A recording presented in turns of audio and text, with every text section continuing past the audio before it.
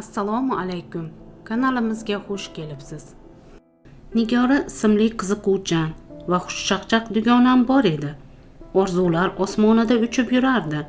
O'shanda endigina 19 bahorni qarshilayotganida odnoklassniki saytida ro'yxatdan o'tdi-yu. Kunlarning birida nigora zavqlanib internetda ko'pchilik bilan do'stlashayotganini aytib qoldi. Bu menga ma'qul kelmadi. Internetda nima bor? U yerda behayo narsalar ko'p bo'larkan. Aytishlaricha internetdagi ma'lumotlarning ko'pi yolg'on. Ko'p hollarda yoshlarni aldasharkan. Vahima qilma kursdosh. Sinfdoshlar bilan gaplashib turishning nimasi yomon? Beparvo javob berdi nigora. Shundan so'ng ancha payt gaplasha olmadik.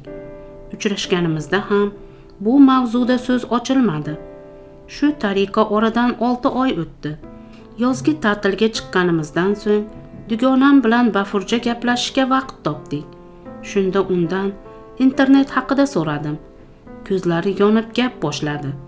Dugonajon odnoklassniki zo'r turli rasmlar dunyodagi voqealardan xabardor bo'lasan yangi odamlar bilan tanishasan kunlarning birida u saytda 22 yoshli xurshid ismli bir bola bilan do'stlashganini aytib qoldi. Galdagi yangi tanishlardan biridirda deb o'ylab e'tibor bermadim.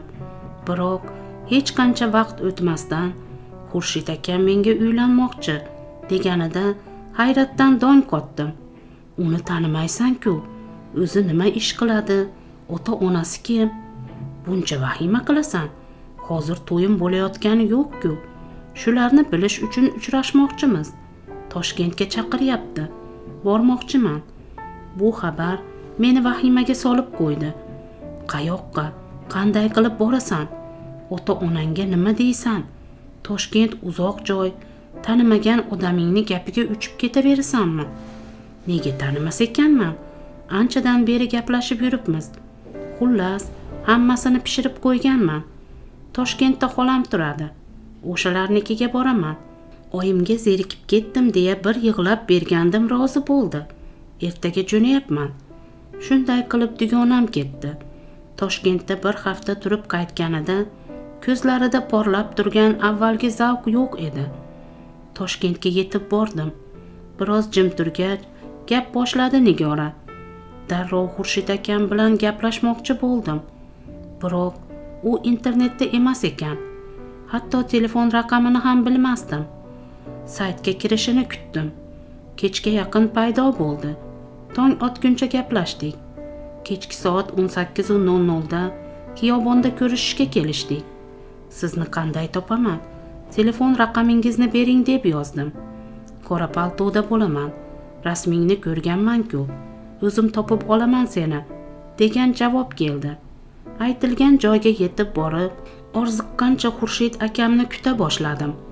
Chamasi yarim soatlar o'tgach yoshi qirqdan oshgan bir kishi yonimga keldi. Ismimni aytib chaqirdi. Kimsiz? Ismimni qayerdan bilasiz? Dedim jerkib. Men xurshid akangizman degan javobni eshitib ustimdan qaynoq suv ag'darilgandek bo'ldi. Necha oylardan beri ishonib umid bog'lab yurganlarimning yolg'on bo'lib chiqishi meni gangitib qo'ydi. Hayotim ostin ustun bo'lib ketgandek boshimga osmon qulayotgandek edi. Qo'rqib ketganimdan nima qilayotganimni bilmay qoldim. Restoranga taklif qildi. Ergashdim. Qayergadir bordik. To's to'polon ichi yosh yalang bilan liq to'la. U ovqat ichimliklar buyurdi. Shundagina o'zimni biroz bosib xurshid akaga qaradim. U men ko'rgan rasmdagi insonga mutlaqo o'xshamasdi. Ketaman dedim o'zimni qo'lga olib. Mayli faqat biroz o'tiring. Shuncha payt gaplashganimizning hurmati yo'qmi? dedi u. Shu orada ichimlik uzatdi. Chanqab turganim uchun bir ko'tarishda ichib yubordim. Hech qancha vaqt o'tmasdan o'zimni yo'qota boshladim. Uyg'onganimda allaqachon tong yorishib ketgandi. Qayerda kimnikida yotganimni ham bilmasdim. Qo'rquvdan dag' dag' qaltirayotgandim. Ko'chaga chiqib uyga yo'l oldim. Meni ming turli savol va malomat bilan kutib olgan xolamga navbatdagi yolg'onni topdim. Dugonalarim qo'yarda qo'ymay olib qolishdi. Telefonim o'chib raqamingizni yoddan bilmayman. Biroz o'zimga kelgach darhol telefonimni quvvatlantirib internetga kirdim. Xurshid akadan bo'lgan voqealarga izoh so'ramoqchi edim. Biroq ushbu profil yo'q qilingan degan yozuvdan boshqa ma'lumot ololmadim. Nigoraga nima deb taskin berishni bilmasdim. Oradan ikki oylar chamasi vaqt o'tib sodir bo'lgan voqea butun qishloq ahlini dahshatga soldi. O'n gulidan bir guli ochilib ulgurmagan orzulari osmon dugonam o'z joniga qasd qildi.